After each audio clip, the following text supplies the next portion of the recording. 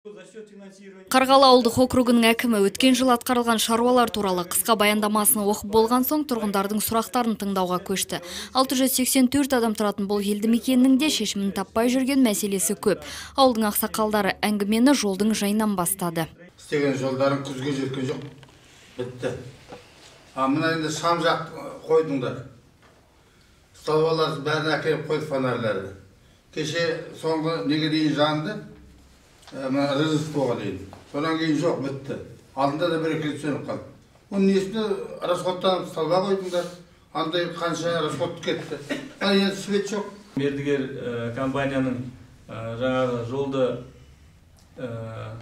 сапасыз істеуіне байланысты қазіргі таңда осы тапсырыс беруші мекеме сол мердігер мекемені сотқа беріп жатыр соттың әлі қорытындысы шыққан жоқ соған сәйкес ол жолды қайттан жөндеуге жөндеуіміз қажет.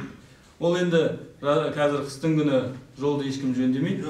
Ол енді иә, алдағы уақыттың еншісінде бұл бә- мәселе біздің бақылауымызда. Көшені жарықтандыруға қатысты Алмас Әлімбаев Қарғалы ауылының тұрғындарына әр үй жарықшамды өздері орнатып, оған жұмсалған электр энергиясында өздері төлейтіндей ұсыныс жасалған жеткізді.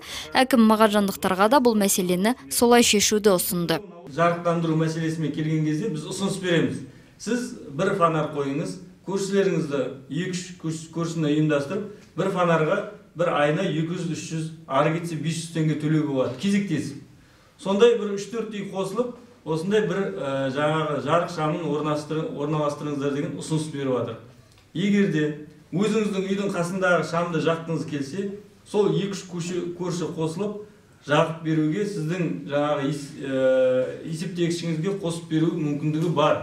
Мағажан жұртын мазалайтын тағы бір мәселе ауылда дәрігерлік пункттің жоқтығы. қазіргі таңда біз жерін анықтадық. Ә, ертең жер актісін бергеннен кейін облыстық ә, жаңағы денсаулық сақтау басқармасы осыған қаржы бөлу керек. Осы мақсатта жұмыс істейтін боламыз алдағы уақытта. Ал егер де медикус мекемесіне осы елді мекенді беретін болса онда медикус мекемесі келесі жылдары осы елді мекенге қаржы салып жақсы медициналық жаңағы фап салуға ә, мүмкіндігіміз бар деп отыр Ал мына тұрғын әкімге бүкіл ауылдың өтінішін айтай келген. Ол Чеварда жанұясының далада қалғанына алаңдаулы. Помогите, потому что там дети. Мағатжан ауылы тұрғындарының атынан өтінішіміз бар. Газ баллоны жарылысынан зардап шеккен отбасыға көмектесіңіздерші. Бұл жанұя екі баланы асырап алып бағып отырған еді. Олардың енді барар жері жоқ. Әкімдік қызметкері қыстың көзі қырауда далада қалған отбасыны көмексіз қалдырмаймыз деп сендірді. Жарылыс болған жерді тазартып, қоқыстарды полигонға шығаруға жәрдемдеспек. Бірақ банк пен төтенше жағдайлар департаментінің шешімін күту керек. Ал қала әкімінің орынбасары Қуантқан Әлімов үйі жанып кеткен тұрғындарға баспана беру заңда көзделмеген деді. Э, есть дети сироты, Бұл үйде жетімдер тәрбиеленіп жатқан болса, қалалық әкімдіктің тұрғын үй секторына жүгінсін. Балаларды жетімдер ретінде үй кезегіне қоямыз. Ал баспанасы өртеніп кеткен тұрғындарға заң бойынша үй қарастырылмаған. Қарғалы селолық округ әкімінің келесі есеп беру жиыны ертең Ясная ауылында өтеді. Бұл күні Шилісай, пригородный елек елді мекендерінде де әкімдері халықпен кездеседі. Гүлвира Сейтенова, Жасан Жұбай, Тәулік.